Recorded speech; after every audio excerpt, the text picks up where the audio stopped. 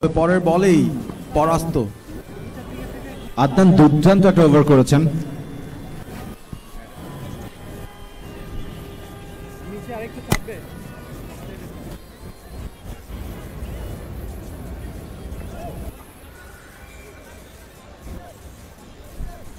নতুন ব্যাটার এসছেন উইকেটে বাট যেহেতু প্রথম ওভারের খেলা শেষ হয়ে গেছে সুতরাং তাকে আমরা নন স্ট্রাইকিং এন্ডেই দেখব। প্রথমবারের মতো স্ট্রাইকে আসিফ তিনি এবং নিলেন দুই ওভারে একুশ অর্থাৎ সাত রানের পর চোদ্দ রান এসছে দ্বিতীয় ওভারে। রাইট এবং চোদ্দ রান ভেরি ভেরি ইম্পর্টেন্ট এই চোদ্দটা রান। আমরা আগের ওভারটা যদি দেখি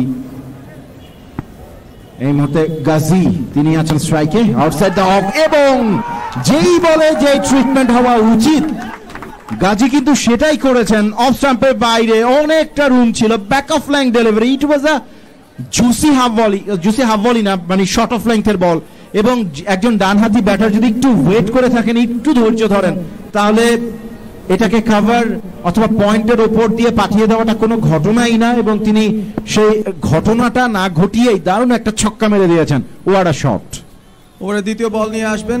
বোলার খানিকটা চাপে অবশ্য রয়েছেন।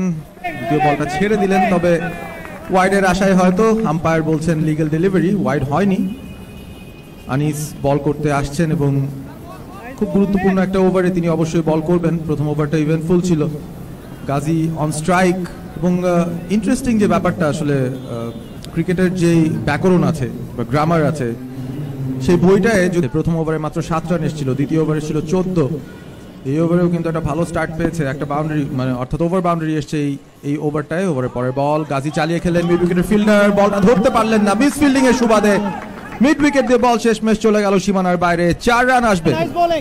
মাটি কামড়ানো চার আনইভেন একটা আউটফিল্ড তবে সেই দিক দিয়েই বলটা কিন্তু রেস করে চলে গেল।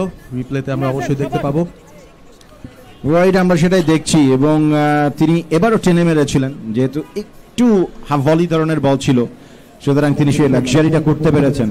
এবং বলটা নিচু হয়ে থাকার কারণে প্রথম চার বল থেকে দশ রান কনসিড করেছেন। আসিফ আট বল থেকে উনিশ, চার বল থেকে দশ করেছেন গাজী। এই মুহূর্তে স্ট্রাইকে এবার কিন্তু ভালো বল স্টাম্পের ওপরে। কিন্তু নো বলের সংকেত আসলো আম্পায়ারের কাছ থেকে। তার মানে ওভারস্টেপিং এর কারণে নো বলটা হয়েছে। একটা রান আসলো অতিরিক্ত খাতে এবং একই সাথে একটা ফ্রি হিট সুতরাং ফ্রি হিটে ফ্রি লাইসেন্সটা কত ভালোভাবে কাজে লাগাতে পারবেন গাজী, সেটা এই মুহূর্তে দেখার বিষয়। গাজী পাঁচ বল থেকে করেছেন দশ রান স্ট্রাইক রেট এই মুহূর্তে হান্ড্রেড টু হান্ড্রেড সুতরাং এই বলে যদি একটা বড় শট খেলতে পারেন ডেফিনেটলি তার স্ট্রাইক রেটটা একটা ভালো জায়গায় যাবে। পরের বল এবার কিন্তু অফ স্টাম্পের বাইরে। লো ফুল টস অফ স্টাম্পে বেশ শক্তিশালী। গাজী বলটাকে পাঠিয়ে দিয়েছেন। ডিপ এক্সট্রা কাভার অঞ্চল দিয়ে সীমানার বাইরে। তার মানে তুলে মেরেছিলেন উড়ে গেছে। আরও ছটি রানের জন্য what a shot brilliant simply brilliant offside master Gazi. দুটো ছয় হাঁকিয়েছেন, দুটোই অফসাইড দিয়ে একটা ব্যাকওয়ার্ড পয়েন্ট একটা এক্সট্রা কাভার এবং ছোট বাউন্ডারিগুলোর ভালো ব্যবহার করছেন এই দুই ব্যাটার অন্তত এই ইনিংসের শুরু থেকেই যেভাবে ব্যাটিংটা করছেন, দেখার মতো কিছু শট আমরা দেখলাম দুই ব্যাটারের কাছ থেকেই। ভাবে মেরে খেলছেন। সেটা কিন্তু হচ্ছে এই মুহূর্তে এমএচএল অ্যান্ড মির সিকিউরিটিসের জন্য। এক্স্যাক্টলি আসিফ এবং গাজী দুজন মিলে একজন আর একজনকে যেন চেস করছেন, যে কে চেয়ে বড় শট খেলতে পারে, এই কম্পিটিশনটা খুবই হেলদি কম্পিটিশন নিজের দুই ক্রিজে থাকা দুই ব্যাটারের মধ্যে এই কম্পিটিশনটা হলে সেটা দলের জন্য ভালো। এই মুহূর্তে Mir securities they are on top আটচল্লিশ, দুই উইকেটে তাদের সংগ্রহ, তিন ওভার চার বল শেষে। অপর প্রান্তে লঙ্কা বাংলা সিকিউরিটিস তারা দুটো উইকেট তুলতে সক্ষম হয়েছে।